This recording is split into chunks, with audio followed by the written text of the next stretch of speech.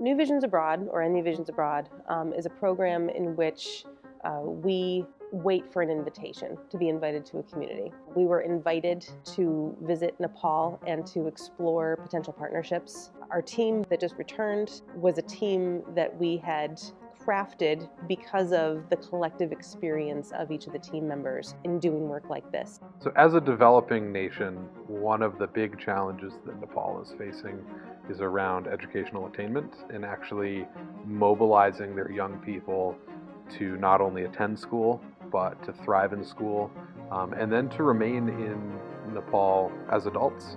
They're still uh, in a recovery phase from the 2015 earthquakes and in dire need of, of school facilities, maybe a healthcare facility.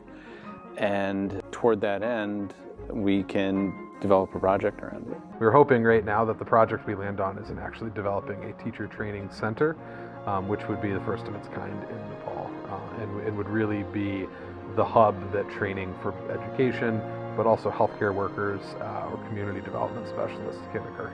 This is a framing trip. Uh, there will be many more opportunities as we move down the road to become more refined in what we're doing.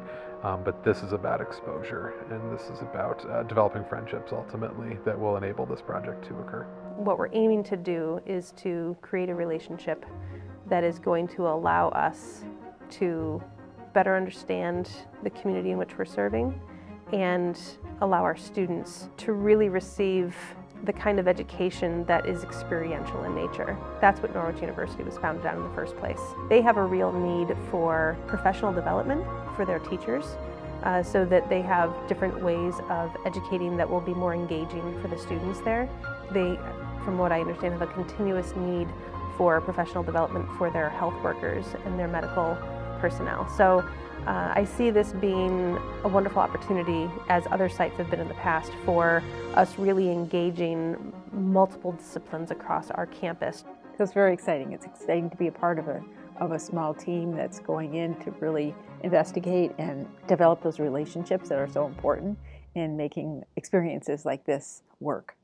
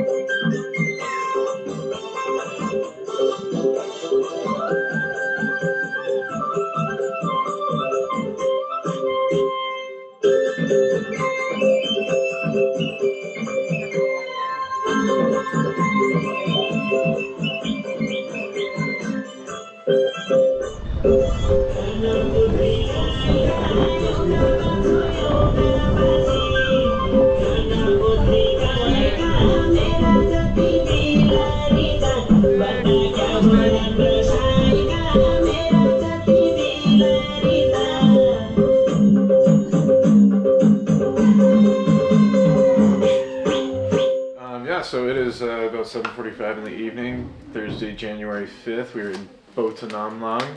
It's day three of our adventure here in Nepal. Paulette, what, what did we start out with? Oh, let's see. we started out with delicious breakfast at the place that we stayed last night. We saw a lot today, and I'm trying to remember the first stop. Was the hospital the Yeah. first stop? Yes. Before that, even the entrance to Panchpokhari. Right. Oh, yes. We were greeted as we were as we came through by the most wonderful people, and um, signing the the registration for coming into the district. Can you talk a little bit about the hospital? Really amazing. Um, the work that they've done. The emergency room, a five bed ward, a surgery uh, for minor procedures. They have a laboratory where they are doing some basic um, blood work. They have a room set up for a birthing center, but it's not quite developed yet. Um, and oh, they have an X-ray. Um, they have an EKG room, but they don't have an EKG machine yet. But they have a space where they plan to do EKGs. So it was really um, very well organized. Uh, they have one medical doctor, three nurses, and phlebotomist, and someone who worked in the lab. Um, so there's, I think in total there were about nine people that worked there.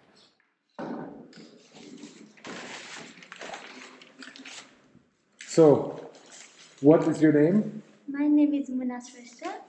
and where are you from? I'm from Bhutan. Uh, I came uh, from two years ago here, mm, and uh, there is uh, first time we started with COVID COVID test, but now I'm uh, uh, working in also lab lab test like AFB. We can uh, see there from AFB test and uh, urine test, stool test like that we can uh, learn more from uh, medical medical team. I used to see CID, Okay. and there is uh, one man who work in lab. Uh, his name is uh, Dr. Salunke. So I'm inspired from him. Uh, I want to learn more about laboratory, so I'm trying to go out but uh, not, I'm not able to go uh, for right now. So I'm here for now, but I will try to learn more to more from abroad, and I, I will come again in India. Wonderful. Thank you so much. They really identified some of their challenges. Um, for one thing, the place where the, the location of the hospital is in a landslide area, so in a in a flooding area. So they they are constantly trying to figure out how to protect what they've done. I I guess what, what really opened my eyes to how tough it was, but how tough the buildings are. Was seeing that building this morning in Melamchi that has two stories below grade from the from the flood, two stories above grade, and yeah, just seeing that the the hotel that we stayed in, there was water on the fifth floor. नमस्कार sir तपाईँ माफ गर्नु चाहिँ म यहाँ लास्टै यही tension तपाईँ वडाको छु नि यार पहिलो त सुन्नु I can certainly speak to the school. I, I was blown away um, by the school, the the absolute like raw beauty of the landscape and um, the stunning beauty of the school. I mean, a brand new infrastructure and, and very modern with, with very modern goals. Um, but you know, I do wonder as they were talking about their goals and and where they're currently at if they're overextended themselves. You know, uh, as they talk about the future, they're getting all new smart boards but then it's a matter of training all of their staff to you teach with technology. Um, it's, it's a different, um, a completely different practice. Um, so I really wonder what that timeline is going to look like for them, um, and if that's going to lead to better outcomes. Um, and in terms of resource use, that, that's a, it's a lot of money to put into that one thing. Um, and one thing they mentioned was having to fundraise each month to actually pay um, their teacher salaries right now. So um, also the question of maintenance, long-term maintenance on a facility of that size. Um, So a huge investment for the community right now, absolutely stunning. And I wonder, I'd be curious to see it five and ten years down the road, um, what that model of education looks like. What do you think? You you build schools as a you know, what do you see when you look at that? I've been directly and indirectly part of uh, that school right from the conceptual days. Many years ago, I attempted to do the same in in, in the other side, Helambu. Um, that was before the earthquake. Um, and really, because we thought that spreading out resources. There were two schools where they didn't have enough teachers when they were running separately, and then there was a building issue, so we were helping with the infrastructure as well as teacher. So we thought if we could bring these schools together, and then um, they will not only bring the teacher, the students together, but also teachers, and the resources will be shared, and it will become much more cost-effective to run the school. But this is at a very different level. Um, I think they have bought into a big school concept So for a big school, there must be over a thousand students, and in a hilly, like mountains region like this, it is very difficult to have thousand students at a time. We must find a way to support that school one one another way. We want to make this school a role model in the whole nation. You know, we don't want to just pretend like we have something to offer. I'm constantly thinking and uh, have been thinking uh, of what could be a real need, and I'm also carefully listening to them, listening to them what actually they ask for. The headmaster also said that they're frustrated by so many different people and organizations coming and thinking they can help, but they just come for one and one time and they disappear. And uh, they say that they trust us uh, because they've seen us working in this region for a very long period of time. Uh, yeah, yeah, we finally, um, I was able to return to Bhotenamlang today, uh, where I was last, uh, last visited in 2019. Um, and we, yeah, we, we came here initially in 2019 to establish a sister school partnership uh, with a high school in uh, Northfield, Vermont. And and COVID happened and waylaid all of our plans. And yeah, it was just really humbling to, to re-enter the community and see the same people and begin to start that conversation again. Um, I was I was very very impressed by the warm reception we received. And, um, no, it's just, it's just great. And that's where we are now, is in Bhotenamlang, and um, we have another day here uh, tomorrow, and I'm just really excited to start talking with students and teachers. Yeah, here we are. Awesome. Great Yeah. to see the excitement. I thought Yeah, so for me, it's a learning opportunity. Just when how what people say and respond and how they uh, what they think about it just gives new perspective. So does the distance the student has to travel have an impact on their learning? Yeah, of course. Yes.